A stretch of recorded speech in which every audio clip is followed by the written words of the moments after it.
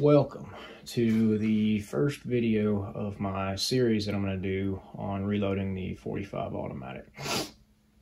main reason I'm actually starting to do reloading videos is because a lot of my favorite reloading channels are just don't upload much anymore uh, to the consistency that they used to. And I remember when I was started reloading about 10 years ago, I learned so much from watching these people and their, their vast wealth of knowledge. And I was hoping that I could provide some level that might even come close to comparing what they were able to provide back in the day. And I hope that you can get something out of this. Now, I don't know if I'm actually going to go through how to reload or the whole reloading process as much as I am the load development. I might, we'll see. But to start off, I'm just going to go through, you know, in each episode the the final load development and then the shots and the results and then if it gets good enough views then I might actually take the time to film the actual ammo manufacturing process. So the gun we're going to be using is my Smith & Wesson E-Series 1911. It's a 5-inch government model, obviously chambered in 45 ACP. And I picked it up probably three weeks ago. I have about 250 rounds of factory ammo on it, and it shoots fantastic.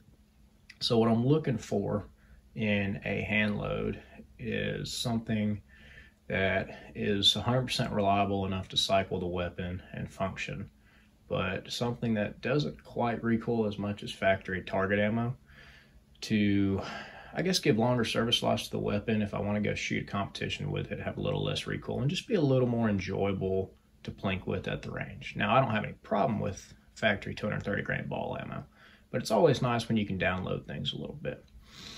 So the parts and pieces that we're going to be using. We got some Extreme Bullets 200 grain plated. And the purpose of starting off with these is not only looking for a pleasant shooting load, but a very affordable load that compares to factory ammo. So this is what I'm starting off with. I might try some other stuff and I'm definitely going to get a mold and cast some bullets forward up and into that lately. So we'll see kind of where the rabbit hole takes us. We're going to be using Federal 150 grain or 100 number 150 large pistol primers. And I got three powders just picked out off the shelf that I'm going to start off with, being Titegroup, HP 38, and CFE pistol. I've also got some unique that we're going to toy with uh, for for funsies. But I know it's it's not a very common 45 ACP powder. So the source for the load data, we're going to be primarily using the Lee reloading manual. Uh, forget what it did, the second edition Lee reloading manual. And the reason that is, is because it actually has information for copper plated bullets, which a lot of reloading manuals do not. So we're going to extrapolate that data, compare it to jacketed data and cast bullet data, and I think it's going to give us the best knowledge base to start off with our load development. The dies that we're going to be using are the Lee 4 die set,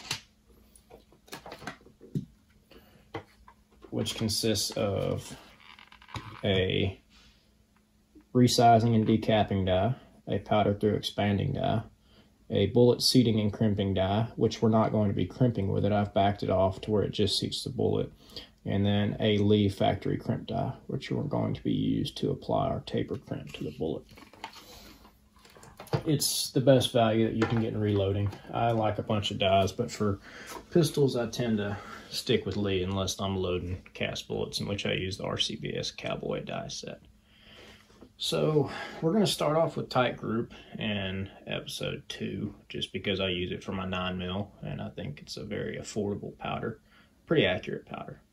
But one thing I'd like to address when I was starting to make my dummy rounds for this to set my dies up is the cartridge overall length and bullet setback. So for those of you that don't know, bullet setback happens when there's not enough crimp applied to the bullet or not enough neck tension, uh, depending on what kind of uh, case you're using. And when you chamber the round or under recoil, it actually sets, the bullet uh, decreases in overall length and sets back in the case. Now this can be from recoil while the bullet or the cartridge is sitting in the magazine, or as it is getting loaded from the magazine onto the feed ramp and hits that feed ramp and goes up, the bullet actually gets pushed back into the case. Now with 1911s, it's a known thing for the feed ramp to be at a very aggressive angle and it can cause bullet setback. Now 45 ACP is not a very high pressure cartridge, but it's still not something you want to see. So when I was making my dummy rounds and cycling them through a number of different magazines, these don't have any primers in them, obviously. But this is the whole pile of dummy rounds I've gone through playing with crimp amount. As you can see, uh, where is a good short one? Right here. This guy has set back in the case a large amount compared to this one because of the lack of crimp. So I've actually had to apply a pretty hefty crimp. And uh, upon doing some research, apparently setback in 1911s are a is a common thing, but it's not something you want to see. So I've ended up crimping to a neck diameter of about 0.466. Now, for example, the crimp on a piece of factory, this is just Winchester 230 grain ball, is about 4.69. So I'm having to crimp it about three thousandths more. Now, when seating a piece of factory ball, it does set back about five thousandths of an inch. So this is a uh, 1.25, and when I've measured them, they all decrease between 3 and 7,000, so about 5 thousandths on average. What I've tried to do is match the setback to what the factory ammo has given me, which I assume is a safe allowable amount. Now, preferably, I'd like to see none, but my crimping die is about maxed out on what I can crimp without actually cracking the case necks. So go ahead and show you what I mean. So my OAL that I'm going to be starting with is 1.26 and that is from Extreme's website. They gave me the OAL for their projectiles. So I'll go ahead and load it up in a Wilson mag. And once again, this has no primer in it. It's a dummy round. Go ahead and do it from slide drop.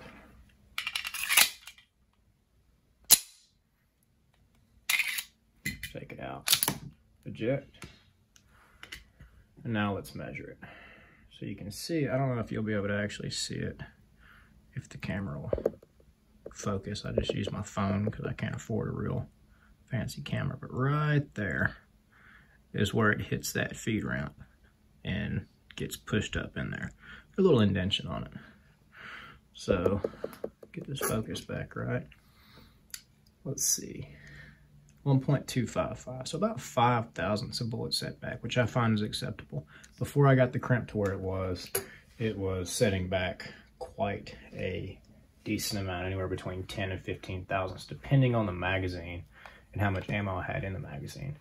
A lot of people don't realize that um, when you have a full mag in a 1911, that first round tends to want to nosedive, which causes it to hit that feed ramp at a steeper angle and shoot back up into it. So the first round of a fully loaded magazine in a 1911 is always going to be the harshest. But anyways, that's what we're working with. Pretty stiff crimp, uh, 1.260 starting OAL. Three powders, some extreme 200 grain bullets, some federal primers, and a beautiful Smith & Wesson 1911. So stick around for the follow-on videos and we're going to go through load development for each one of these powders and then possibly some different projectiles here in the future. Thanks for watching.